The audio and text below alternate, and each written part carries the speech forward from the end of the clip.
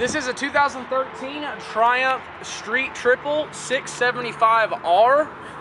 This is an amazing middle class motorcycle. It is a standard, so that means it sits up a little bit higher, a little bit more comfortable.